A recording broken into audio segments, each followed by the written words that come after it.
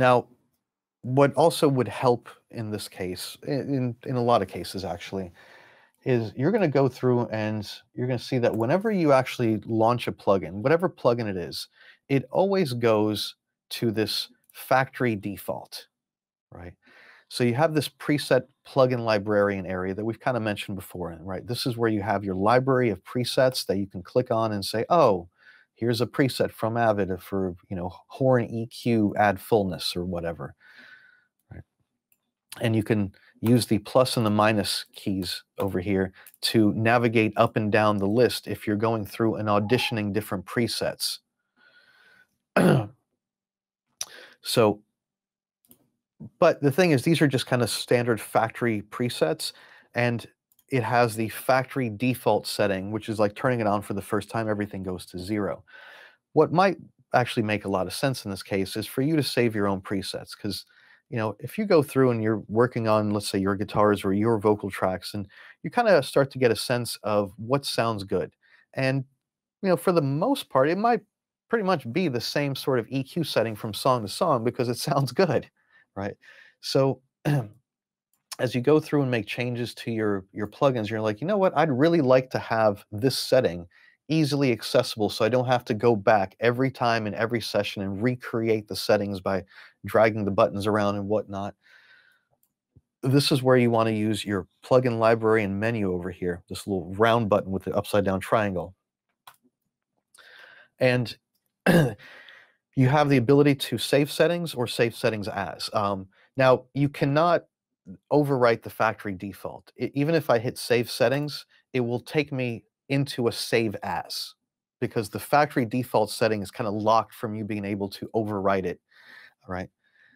So now this will automatically take you whenever you do uh, save as or save essentially, this will take you to a special place on the hard drive where every single plugin has its own settings folder. So it's actually called the plugin settings folder and every plugin on your computer has a folder in here with the settings that this is what it reads when it actually goes through and you're like, oh, okay, follow this settings file or follow that settings file. So where's my EQ3 seven band? Always takes me to some weird place. All right, so it does take you to that plugins folder automatically.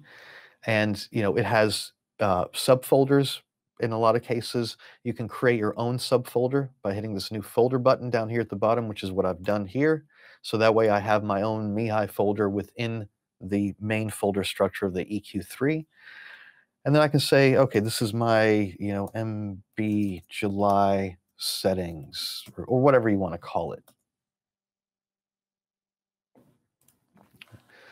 So now when I look at my preset list, that becomes the name. So it takes over the factory default, obviously, because it just recalls the current one that you saved as.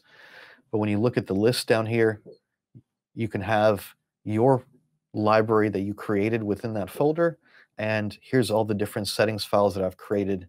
And I can just quickly go between them and not have to recreate that settings file for that same vocalist that I've done a bunch of times and I know what their EQ should sound like as a starting point. Right. Now, these presets, once you save them, they're available in all sessions. So you go to any session on this computer, it reads the same preset library. So you'll have access to all the presets in every single session. Right. Now, the thing that sometimes might also make sense with this is, you know, if I were to go in here and remove this plugin, let's say I launch it again on a new track and I'm like, oh yeah, go launch that EQ plugin again. It launches with the factory default setting, right?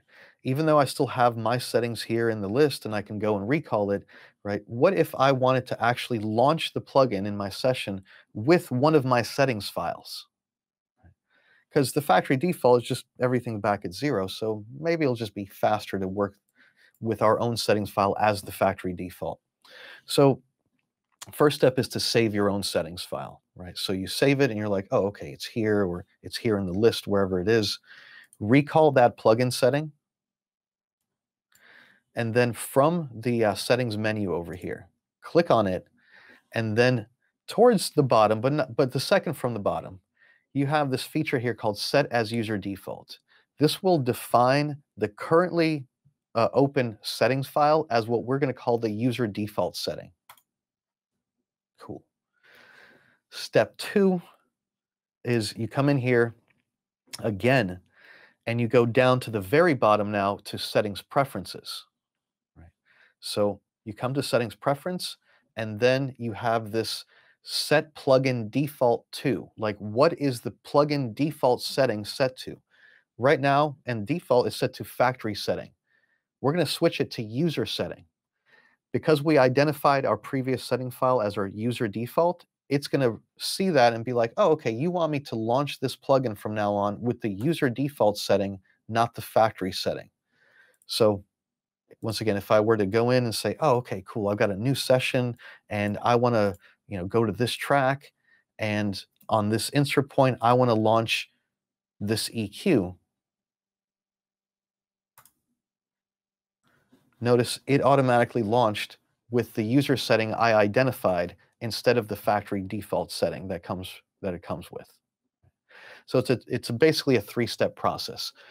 Save your own settings file, then using the menu, uh, after you recall that settings file, set that user setting file as your user default, and then under your settings preferences, set your uh, default plugin to the user setting from the factory setting.